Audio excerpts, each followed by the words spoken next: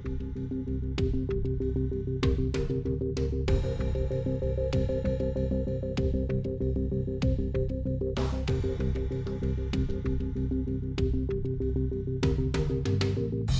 folks, welcome back to our Dice Tower preview. I'm Mark, and today we're taking a look at Safari Turbo.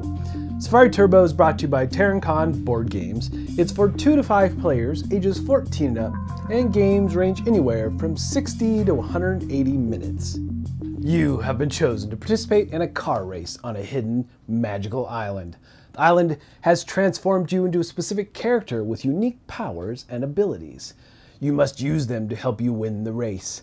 And so the object of the game is to be the first player across the finish line.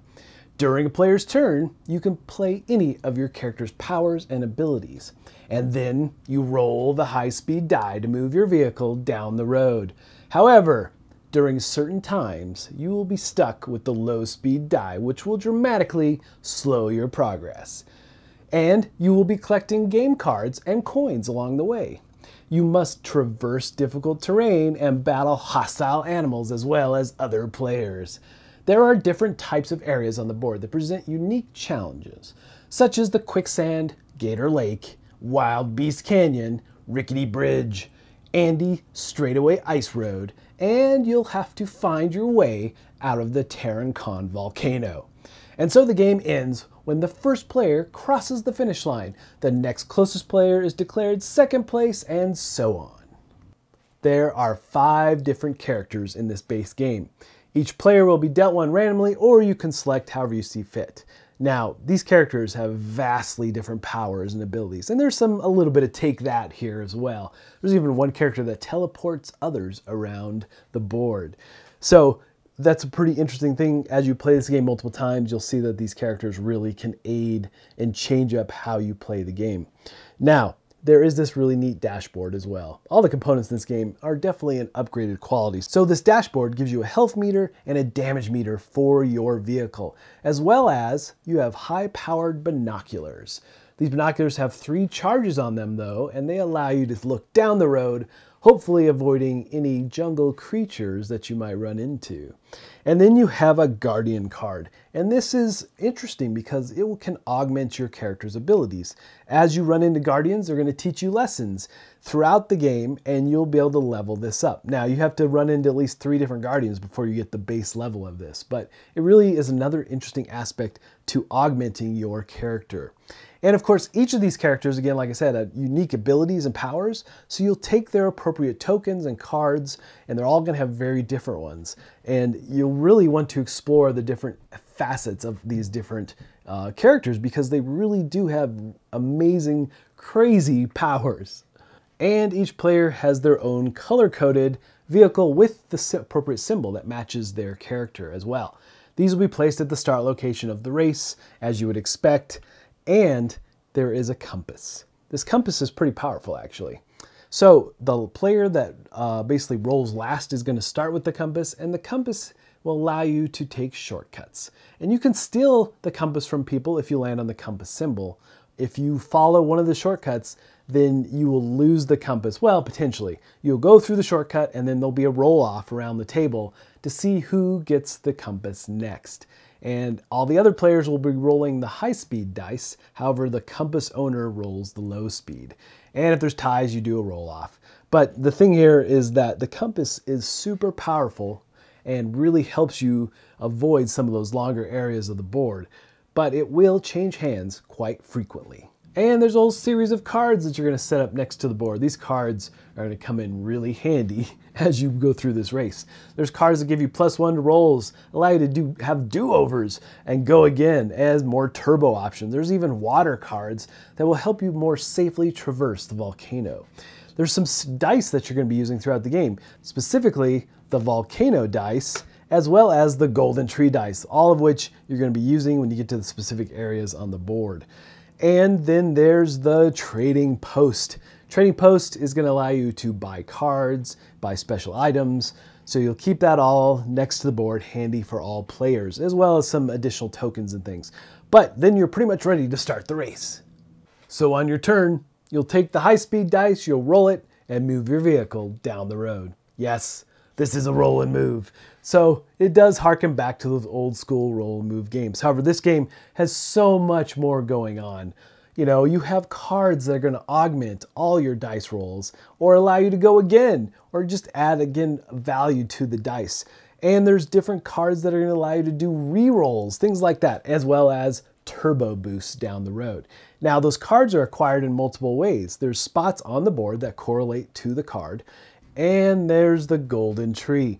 So the golden tree is going to allow you to roll dice to gain cards. So if you roll two different symbols of these dice, then you get to pick one of those two cards. If you roll two symbols of the same, then you get two cards of that type. And there's also the golden leaf. Golden leaf acts as a wild, you can pick whatever you want then, or if you roll two golden leaves, that's when things get interesting. Then you look at the back of the trading post card and there are special gifts that you can receive. You get to pick one of these. They're going to usually give you multiple cards or basically allow you to steal the golden compass. So it's something to be sought after for sure. And as you go across the board, there's other golden tree spots. Actually, these are leaves on the board, but you have to land exactly on those in order to roll the dice. The tree, though, you can just stop and use those dice and roll. And of course, there's all kinds of hazards that you're going to be running into. You'll see that they're marked by a red circle with a symbol. Well, not a symbol, but a number and a letter. So on the board is also a handy guide to show you what different penalties you're going to receive when you land on those spots. You could take damage to your health or damage to your vehicle.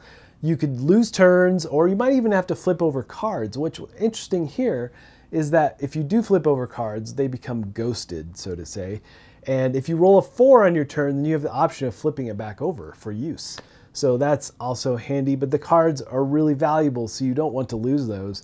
So looking out for these spots, using your plus one cards where appropriate when you need them is very valuable. Now, there's also areas of the board that you have to traverse and be very careful about, like the rickety bridge. And that might be another place that you save those plus one cards for so you don't get put back uh, and lose all your progress.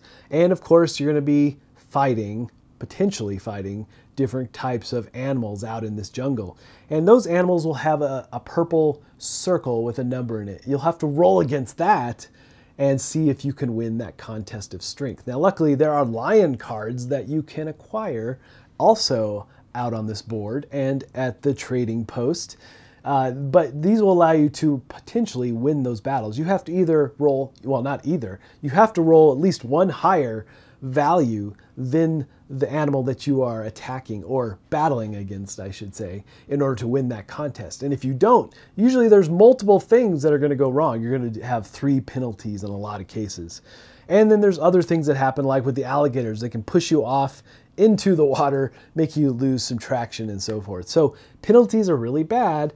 And another thing that you're going to be acquiring on this board is as you move across it is gold or money and you want to get some of that, well, at least as much as possible. So you, when you get to the trading post, you can go spend it on getting more cards and special items. So there are definitely rules for acquiring those and so forth. And what's interesting here is that there's tons of different things going on in this game. So how you approach those different areas and using your cards to land on the specific spots that you want is really helpful. Also, you have turbo. So if you roll a six, which is your turbo, you can use your turbo card and get to go again basically. But in an area like here where the wildebeests are, oh man, you have to be very quiet. If you roll a six there, they're going to rush you and push you back to the safe zone. There are safe zones as well, which is important to note.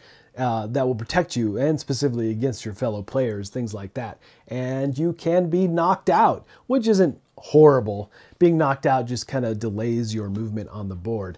And if your car or your vehicle is completely damaged, it is a magical island after all. It will self repair, but it will take you several rounds to do so, which you'll have to be rolling the slow speed dice. So, as you get towards the end of the race, there is this volcano that you're going to have to deal with. And at the volcano center, you have to traverse that somehow, but you're going to have to roll dice in order to do that. There's four volcano dice. Now, one of the big things to look out for is there's a negative one health that you could potentially roll. If you have a water card, then you can negate that. But if you don't, then you're gonna have to take negative one health. But you get to roll three times, and you can choose as many dice as you want to re-roll and so forth. But you're either looking for three check marks that moves you past the volcano to the next spot, or you're looking for four of the same letter that will move you to that spot as well. However, if you spell out the word cave, you will get to move to the secret cave, found your way past some of these lava fields. Also, if you land on a lava field, it's going to put you back, unless you have a water card that allows you to stay there. So lots of hazards in this volcano area for sure.